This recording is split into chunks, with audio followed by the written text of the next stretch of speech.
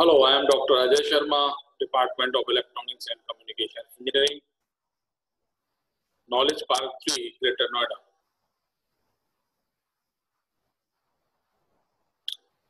The subject that I teach in this semester for BTech 7 semester students is optoelectronics and optical communication, and this is the main subject for uh, BTech 7 semester students. And the topic that I discuss today in this video lecture is optical transport network, OTN, optical access network, optical premise network. Okay, we have to start with our optical uh, network. What is optical network? Actually, optical networks are high capacity telecommunication network based on an optical technologies and components that provide routing, grooming, and restoring of the wavelength level as well as wavelength based service. So basically, these optical network is a combination of uh, different uh, different network technologies, then, uh, different uh, optical components uh, that providing grooming and restoration at the wavelength level. So basically, optical network has you know fiber optical fiber transmission systems, and of course optical signals, optical fiber, and of of course electrical signals ultimately you need to convert electrical signal into optical signal. So all these things are concerned with this optical uh, network. So uh, as well, uh, as far as the optical uh, network architecture is concerned, uh, this is generally uh, a physical arrangement and operational characteristic of a communication equipment together with a common set of communication pro protocol. So basically numerical architecture, you know, has uh, arrangement of you know various uh, uh, communication equipments and together with the protocols that should be followed in network architecture. So optical network enables carriers uh, optical network enables carriers to deploy an uh, optical service platform into regional and uh, long haul port transport network to maximize uh, service flexibility, simply network operations. So uh, basically optical network architecture, if you look this architecture, you have uh, basically uh, different layers. Uh, you know, look at this section, transport network. This transport network come in the picture uh, after uh, DWA, DWDM and SONET. What is SONET? That we already discussed in previous uh, video lectures. Synchronous optical network. And what is DWDM? Dense wavelength division multiplexing. Right? What is PON? Passive optical network that we will discuss later in this lecture.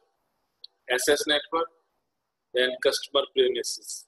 Premise so this customer premise, you know, are buildings, office, you know, multi-story building, houses. These are the customer premise. Shops. These are the customer premise. premise. So they access the network by access network. They access the you know technology, optical technology through access network, right? And these access networks and customer premise have a part of passive optical. And these access networks, you know, connect with uh, metro networks and, you know, so this is all a long haul network this way. So all these things, you know, all these technologies come together to form a you know, network, whole network. And this is the optical network architecture. So come to the passive optical networks. In general, there is no OE conversion between the transmitter and the receiver in PON networks. You know, only passive elements used to configure the network. Power budget and rise time calculation has to be done from end to end. Uh, so there are star, bus, ring, mesh, and tree topologies in this network that we already discussed in previous uh, video lectures. So currently PON access network are deployed widely and the word PON means mainly to access a network. So PON will still uh, need higher uh, layer uh, uh, protocols like Ethernet, IP, etc. to separate uh, multiple users. So passive optical network, in short we say PON, used uh, WDM uh, over a single bidirectional optical fiber. So in this networking, networking the multiplexing uh, technique that we use in this uh, optical network, or you say passive optical network is uh, wavelength division multiplexing that we, uh, we, we, prefer in that networking. So only passive optical components guide traffic from the central office to the customer premises and back to the central office, right? So passive passive optical components are used uh, that connect central office to the customer house, customer building, customer shops, uh, or you may say customer premises. And uh, from customer premises back to the central office. So uh, between the, so these optical uh, passive components are in between uh, customer premises and central office. So in the central office, combined data and digitized voice are sent downstream to customer by using 4900 nanometer wavelength. The upstream customer to central office use 1310 nanometer wavelength. So our video services are sent downstream using 15, 15, 15 nanometer wavelength. So these are the different windows that are used uh, for you know upstream and downstream between uh, central office to the uh, customer premises. And as well the video services are concerned, these are using uh, 15, 15 nanometer wavelength. And all these wavelengths are, you know, uh, are mixed in a multiplexer, and, you know, and uh, sent by a common channel, which is the optical fiber. So all these wavelengths, you know, utilize the whole band, the whole bandwidth that a particular fiber support. So look at this bond. This is look at these. These are different wavelength, different wavelength. This is for voice data. This is for video. So we have lambda 1, lambda 2, lambda 3. This is central office. This is multiplexing. This is the wavelength division multiplexing. There. there is single common feeder fiber, optical fiber. Then there is a splitter there, you know. Lambda 1 goes to there, lambda 2 goes to that house, lambda 3 goes to that building. And these are the user premises, houses, building, you know, offices. And 30 kilometer, you know, uh, the distance that's shown in this network we use a 20 kilometer SSD. So passive optical network have these are the these are the optical uh, line terminal having PSTN, the internet, CATV, the optical line terminal, and these are optical network units. This is uh, passive optical splitters. This is common optical fiber having different wavelength. So wavelength division multiplexing over a single fiber.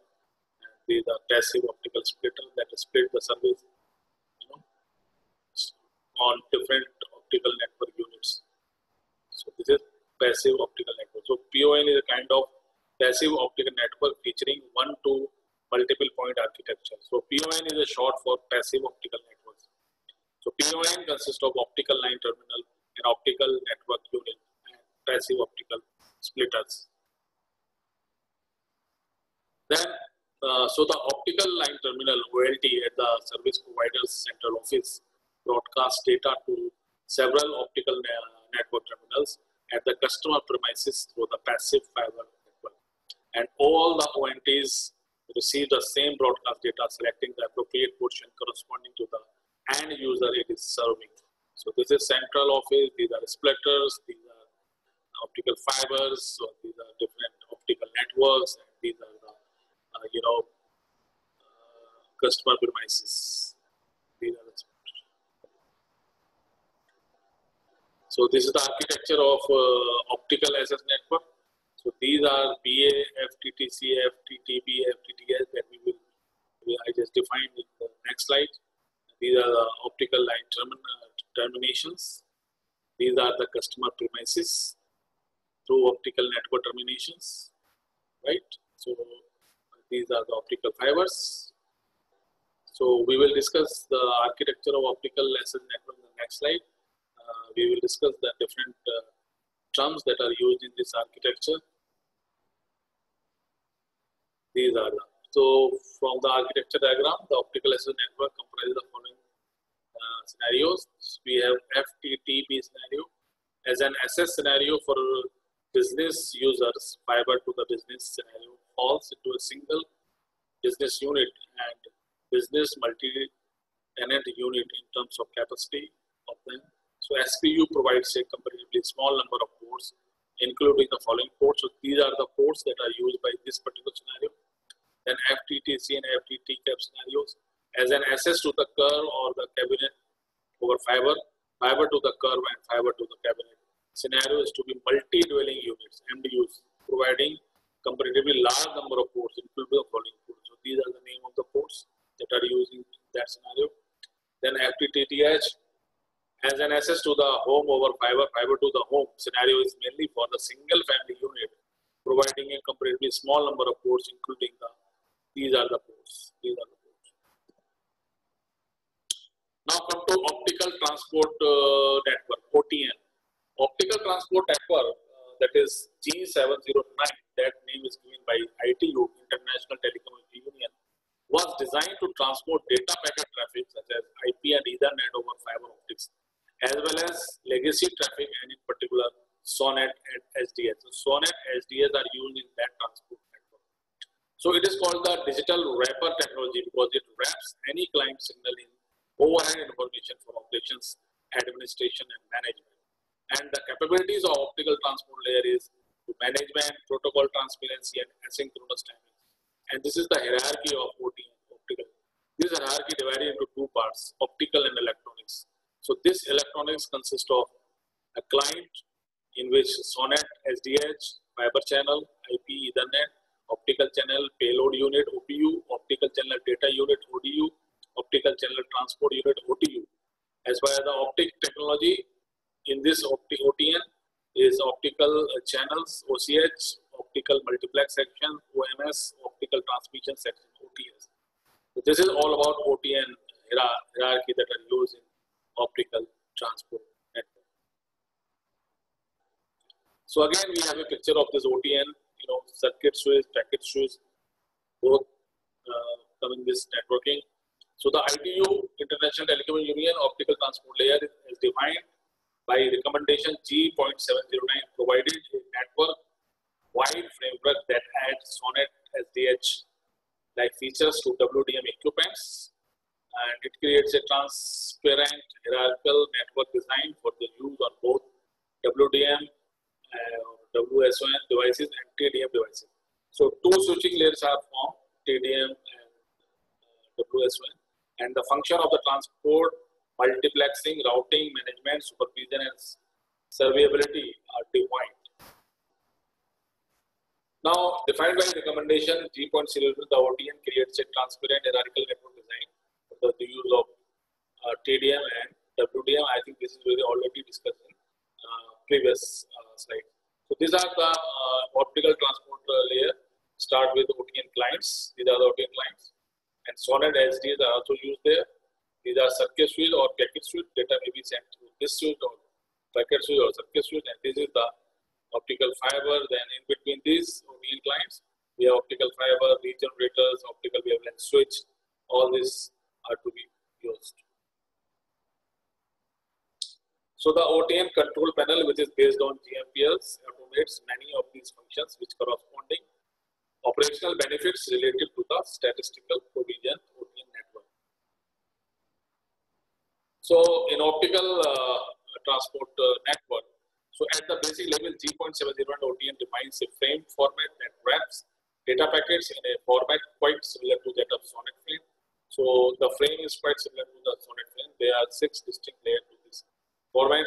We have a layer of OPU, optical OPU, optical channel payload unit. This contains the encapsulated client data and a header describing the types of data. It is analogous to the path layer in SONET or DTH. And second one is ODU, optical data unit. This label adds optical path level monitoring, alarms, indications, label, and automatic protection switching. It performs similar function to the line overhead in SONET or DTH. Then OTU, optical transport unit. This represents a physical optical port such as uh, OTU2 and adds uh, performance monitoring. It is similar to the section overhead in SONET or DTH. Then OCS, optical uh, channel, this uh, represent an end-to-end optical path. Then OMS, optical multiplex section. This deals with the fixed wavelength, DW dense wavelength division multiplexing between OADMs and optical add drop multiplexing. So then OTS, optical transport section. This deals with the fixed wavelength uh, DWDM between relays. So the OTN control, uh, this is already discussed. Now come to optical premise network. Premise means, you know, and, you know, when the communication and communication always end with uh, a user. Where, where the user is to be, uh, is to be find, user find in some building, some offices. So this is the, you know, customer premises, customer premises where the customer live, where the customer stay. So optical premise network means fiber to premises FTTP, also known as fiber to home and fiber to the building. So fiber reaches the boundary of the residential or commercial buildings. Passive optical networks, PONs and point-to-point -point Ethernet are architectures that delay, deliver triple play service over FTTH network directly from an operator's central office. So this is a central office and through central office, these are, you know, passive optical network, FTTH, they all work together. And these are the you know, these are the houses or the, the customer premises. These are building. So this is the optical premise. Thank you very much.